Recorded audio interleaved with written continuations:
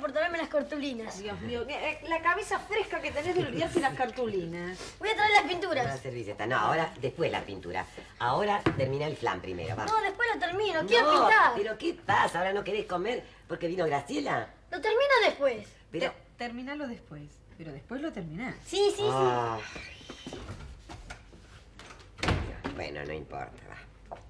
De todos modos comió bien. Se comió dos platos de sopa de sémola y dos milanesas enormes. Sí. Parecía muerto de hambre, pobrecito. Pero, pero no está muerto de hambre. Bueno, no, yo no te quería preocupar, pero últimamente yo no lo vi comer bien a ese chico en tu casa, ¿eh? No. Bueno, claro, pobrecito, solo se aburre. Solo. No está nunca solo. Está Juan a los mediodías con él.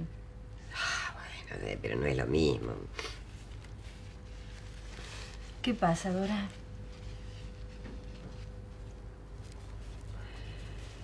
No estoy de acuerdo como crías a Mariano. ¿Cómo? Está cada día más rebelde. Lógico, está creciendo. Antes no era así. ¿Antes? Cuando vivía Jorge. ¿Qué quiere decir? A ningún chico le hace bien tanto cambio, tanta desorganización, tanto, tanta cara nueva, tanto... Lo dice por Raúl. Y bueno, ya que lo mencionas, sí. ¿Qué tiene que ver este muchacho? Buen muchacho este Raúl, pero ¿qué tiene que ver con Mariano? Bueno, va a ser mi marido. Lo quiere mucho a Mariano. Sabemos que no es el padre. Ni vos la madre. ¿Cómo puede decirme eso, Dora? A mí, que hice tanto por Mariano. Yo me pasé noches sin dormir, cambiándole los pañales, con sus fiebres.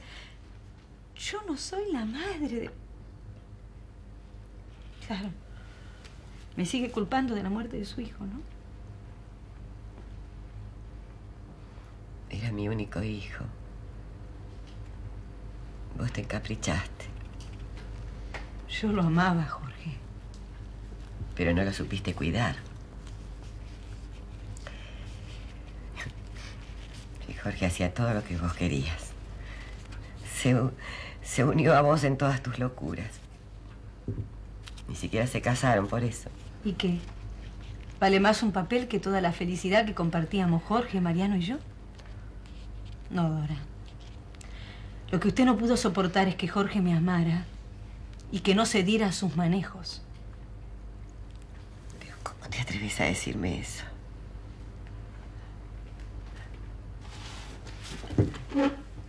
Si no fuera porque vos estuvieses encaprichado, no hubiesen viajado. Yo les dije, está lloviendo, no viajen. Fue un accidente. Pero el que se murió fue mi hijo. ¿Pero de qué quiere culparme? Yo también viajaba en ese coche. Y además, ¿qué tiene que ver el nene en todo esto? No, no, no, no entiendo. Claro.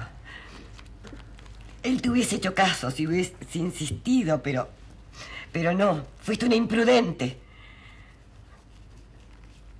Y ahora yo no voy a permitir que con esa misma imprudencia vos quieras llevarte lejos a mi nieto para sacarlo del lado mío. Mami, vení.